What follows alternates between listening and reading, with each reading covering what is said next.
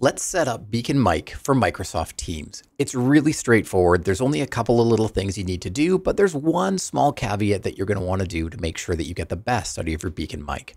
Now you can access the window that I'm going to show you now either by going to the bottom left corner of Teams when it starts up and looking at your general settings, or probably more likely you're going to use these settings when you're actually in a call, which is up in that top right hand corner.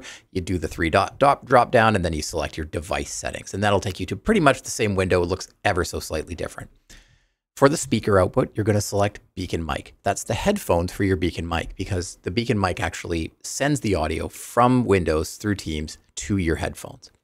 Then you're going to want to use the BEACN Mic as your microphone. So these two things are set already right here in this window. Now, when it says adjust mic sensitivity automatically, yes, you can do that. If your mic level gets a little bit too low, Teams will boost it up a little bit. Generally, if you followed the setup instructions for your BEACN mic, it's already going to sound great before it gets to Teams and it won't really need to do much, but it's a little bit of a good fail safe to have in there.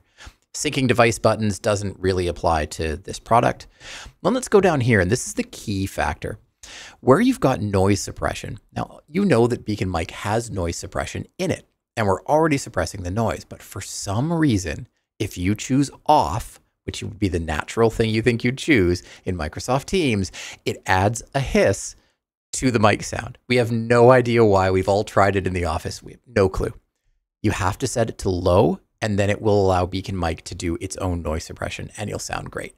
Um, the other thing to do is to tick high fidelity music mode. And the reason you want to do that is you want the highest amount of data to be able to be throughput on your call to give you the best audio quality.